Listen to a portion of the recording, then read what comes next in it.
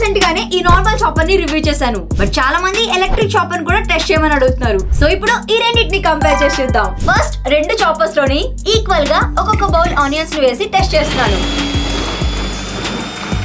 And ఇప్పుడు గట్టిగా ఉన్న ఈ క్యారెట్ అండ్ బీట్రూట్ కూడా వేసి టెస్ట్ చేస్తున్నాను.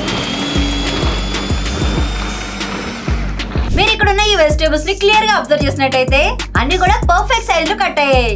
బట్ ఈ electric chopper four hours charge పెడితే అరౌండ్ ట్వంటీ మినిట్స్ వర్క్ అవుతుంది. అంటే hardly one to two days వస్తుంది. సింపుల్ యూసేజ్కి బానే ఉందని చెప్పొచ్చు. అదే మీరు రెగ్యులర్గా ఎక్కువ క్వాంటిటీస్లో యూజ్ చేసినట్టయితే ఈ మాన్యువల్ చాపర్ బెస్ట్ అని చెప్పొచ్చు. అండ్ దీని వల్ల మంచి ఎక్సర్సైజ్ కూడా. అండ్ ఈ లింక్స్ నేను కామెంట్ సెక్షన్లో మెన్షన్ చేశాను.